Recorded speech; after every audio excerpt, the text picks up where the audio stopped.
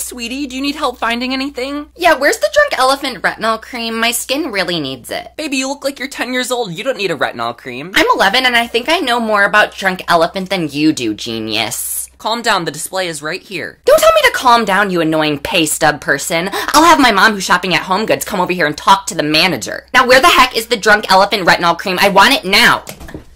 Thank you. See, this is gonna make my skin so amazing since I'm young and since you're old and dusty and you don't have this and you probably can't even afford it. And guess what? My dad's buying this for me. You probably don't even have a dad. Oh my god, please don't get the manager. I have a family of eight to feed. You have a family of eight to feed? I don't really care. Do you think that's any of my business? I'm just trying to get my drunk elephant skincare because I'm gonna age perfectly and my skin is gonna look so good. Even though I'm 11, it doesn't matter. I still need this retinol cream. I don't need you to lecture me on what skincare products I should use on my baby face. These are expensive products and they're gonna work miracles and they're so cute and aesthetically pleasing.